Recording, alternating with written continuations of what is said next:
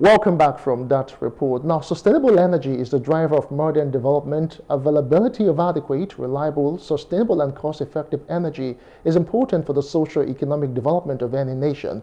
Now, given Nigeria's progress in this regard, it is necessary to continue identifying options for scaling up sustainable energy supply to achieve sustainable development goals in the country. My guest, Michael Olaitan, is the co-founder of Power Now Technologies Limited. Many thanks for joining me, Michael. So let's talk about sustainable development um, in Nigeria and all of um, the issues.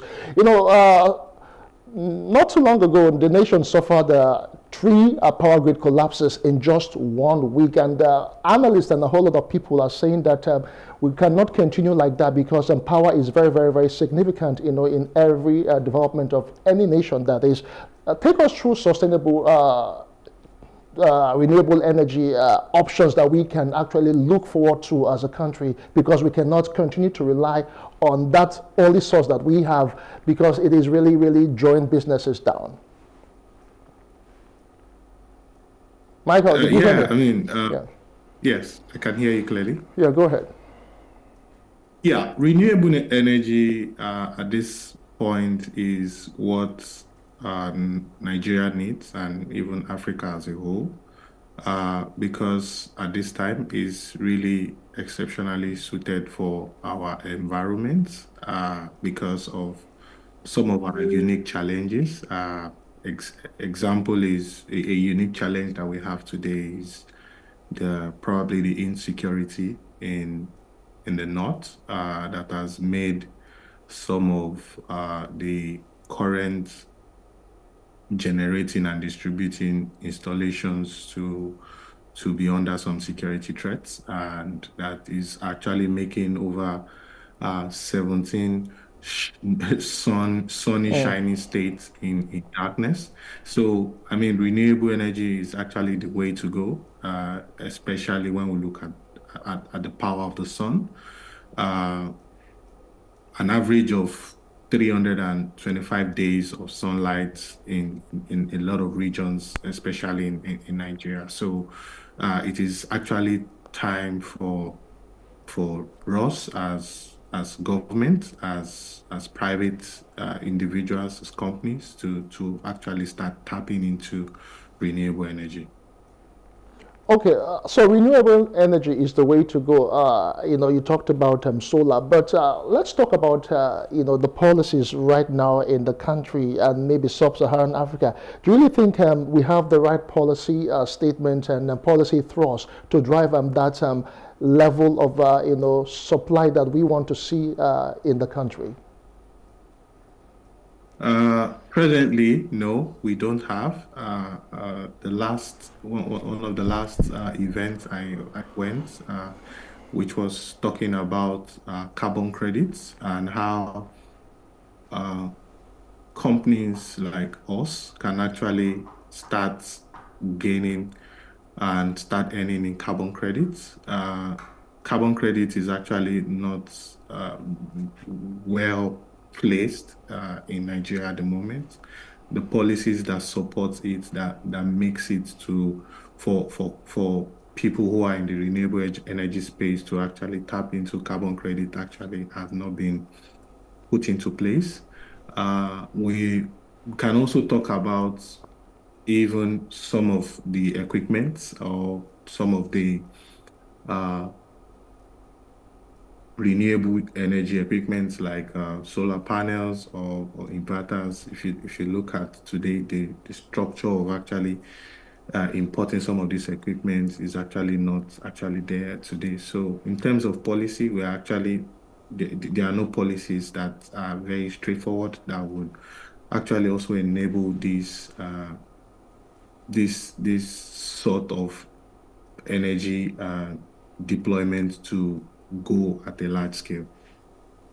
Okay, the last time you were here, last time we talked about um, solar power, you know, um, one of the concerns that we raised then was that of um, costs and, um, you know, the investment outlay to get that because we're looking at, uh, you know, energy transition in Nigeria because we know what it entails uh, with um, gas and gas inconsistency. But, you know, would we get to a point where you know even the small scale business i know we had talked about it but maybe we need to just uh, reiterate you know can actually solely depend on these renewable sources that we've talked about? Because uh, i hear some states uh, they even have their own independent power project but not many of them is looking at uh, maybe solar or thermal or you know wind you know so you know is it as a result of the cost uh, uh, the cost implication or how can we begin to mitigate against them this high cost in installing or getting to or switching completely to renewable energy? Uh, uh, I mean, the the last time the Minister of Power mentioned that very soon, uh, based on some legislative bills that have been passed, uh, states in in Nigeria would now start generating uh, their power he also mentioned the the, the installations of probably mini grids in some of uh, these states. Uh, so yes, uh, I mean, financial constraint is actually a big is a big thing for for solar installation. Uh, the cost of uh, first implementation is actually very high, but in the long run, uh, the the maintenance cost is is not high; it's very low. So yes, uh, the cost is high, uh, and that's why governments and private private companies and investors need to start looking at this this position to actually provide uh, funds around uh, renewable energy and for companies like us that are already into it, uh, yeah. where we kind of provide uh, a, a, a model of uh, buy now pay later, uh, helping businesses, helping households to actually uh, pushing the effect of the the upfront cost. So yes, uh, finance is actually a major thing, uh, and it's it's a blocker.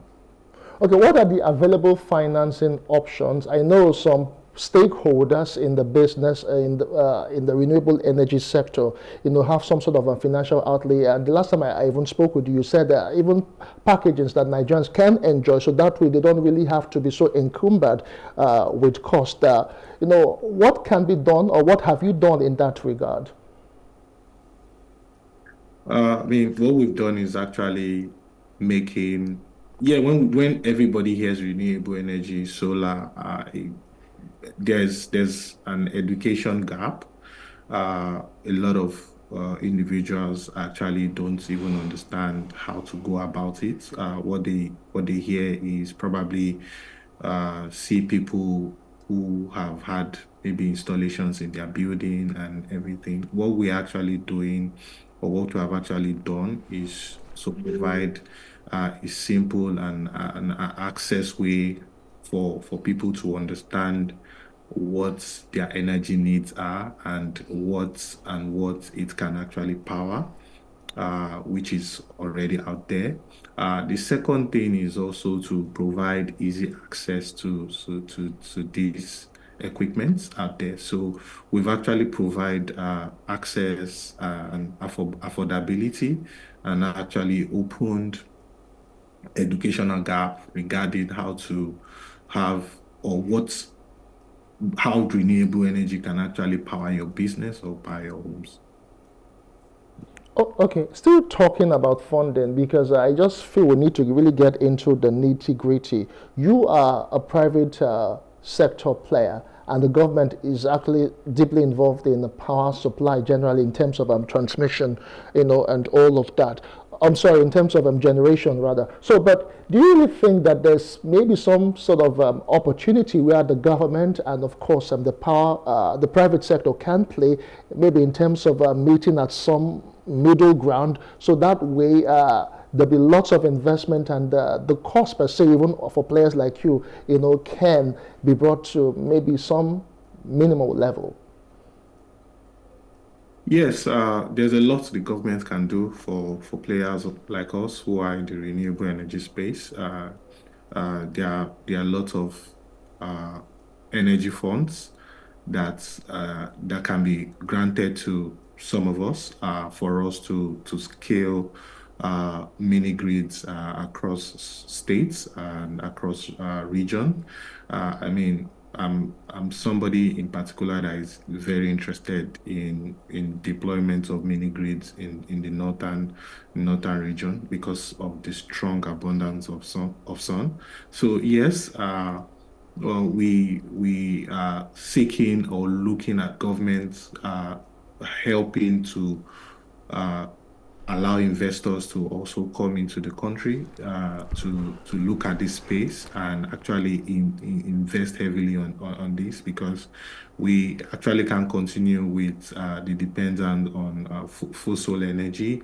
Uh, it's actually not reliable and and yes, yeah, so yeah, it's, it's it's really very very imperative for the government to actually come in uh, to, to provide funds, uh, so solar solar loans for, for businesses, where we can actually come in and, and deploy this uh, renewable uh, energy equipment for, for them and, and their households.